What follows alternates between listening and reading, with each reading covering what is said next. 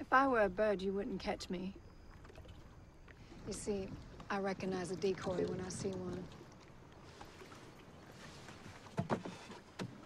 So, what kind of bird would I be?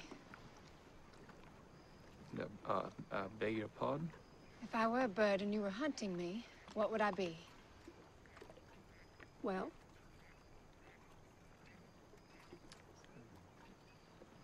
A mallard. Particularly beautiful bird in flight. that's all, just a bunch of pretty feathers. Oh, no. I enjoy a bird that uses its uh, native cunning to outwit the hunter. A mallard has canny. I see. Hmm. Hmm.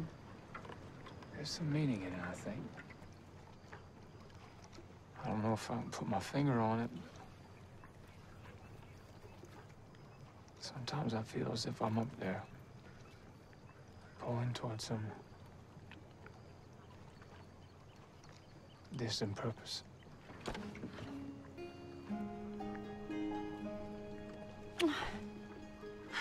Teach me to shoot.